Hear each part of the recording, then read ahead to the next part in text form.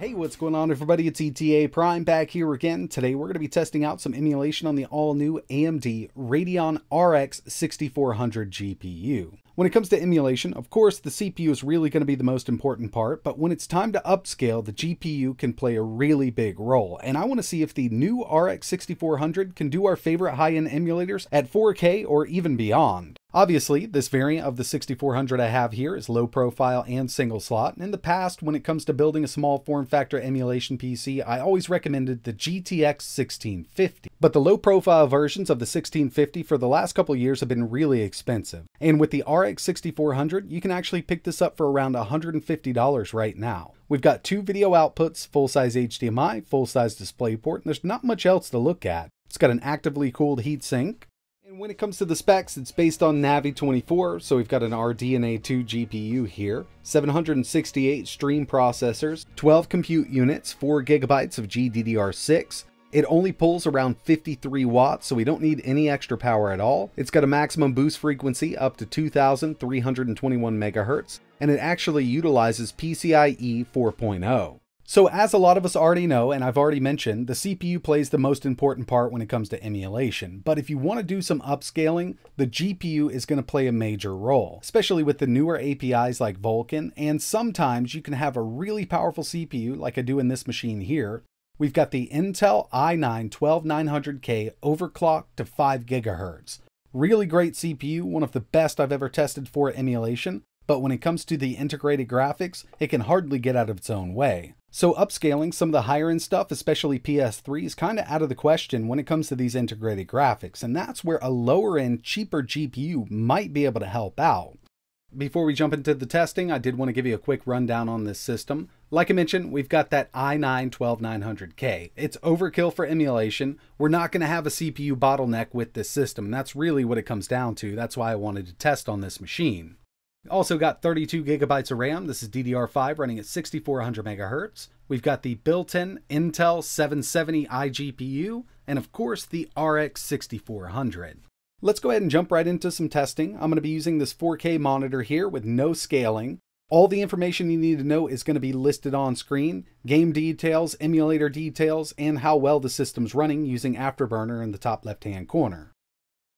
Alright, so first on the list we have PSP using the standalone version of PPSSPP. Dirt 2 here is one of those games that does fluctuate between 30 and 60 while in game, but you can patch it out. But with the RX 6400, I was able to take this up to 10x, which is just maxed out with this emulator.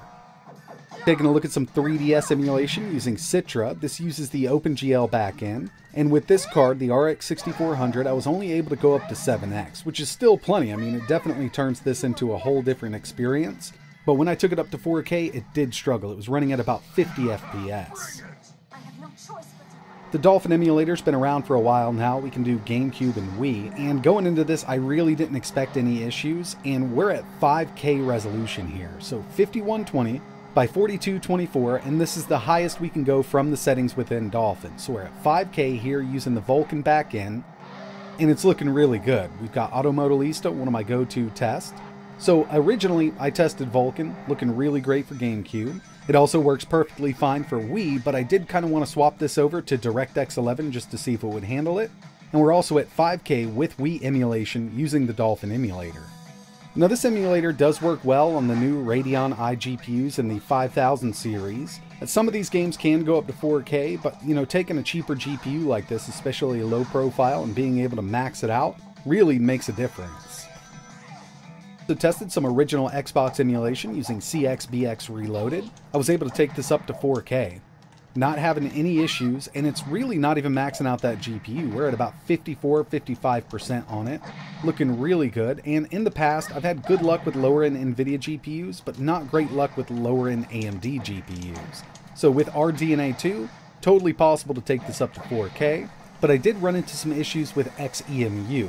I tested about three games and I kept getting a lot of graphical issues, so, you know, I think it's just a little early for this GPU and this emulator right now.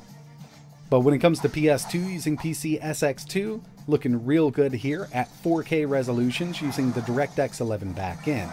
I was going to go with the development versions of PCSX2 and try Vulkan out, but it was performing well enough with DirectX 11. Now, it doesn't mean that every single game is going to go to 4K with the RX 6400, because I did run into a couple games where it just wasn't possible to go up to 4K, like Shadow of the Colossus and one of my favorites, Gran Turismo 4. So here's Gran Turismo 4, and I did have to drop this down to their 3K setting, which is uh, 1620p.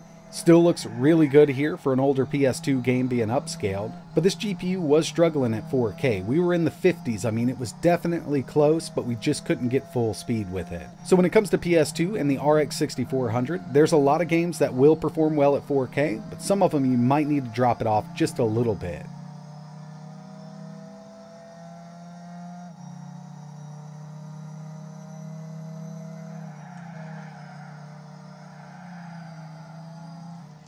Moving up to PS3 using RPCS3, Vulkan back backend, here's Tekken 6 at 4K. Now with the newer versions of RPCS3, it does support FSR and we can turn it on, but this is at a straight 4K resolution. I wanted to see if it would handle it, and it's doing a great job.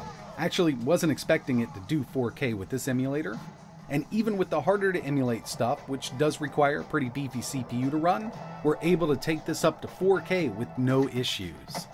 We're at about 74% utilization on the GPU, and if you take a look at the CPU, which is that 12900K, we're pulling 150 watts. I mean, this is just a harder game to emulate, and you need a pretty good CPU to do it.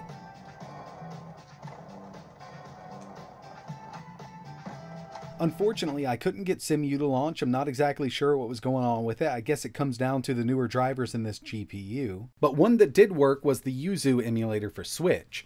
So I tested out Shield, 4K, we got full speed with it. Looking good there with the Vulkan backend. But when I moved over to Odyssey, did run into some issues. So with that one, I had to drop it down to 1440p. At 4K with Odyssey, we were averaging around 51 FPS. It was close, but you know, just taking it down a bit, it does work out well.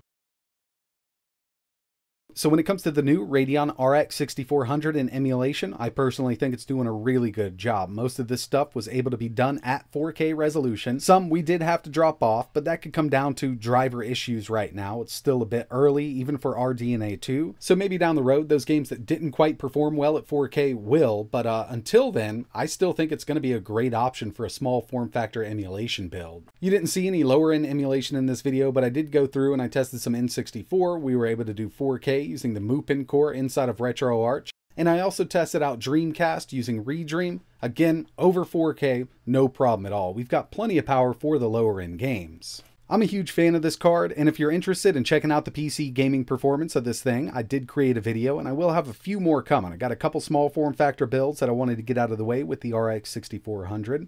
But, you know, if you're interested in learning more, I will leave a few links in the description, and if there's anything else you want to see running on this, let me know in the comments below. But that's it for this one. And like always, thanks for watching.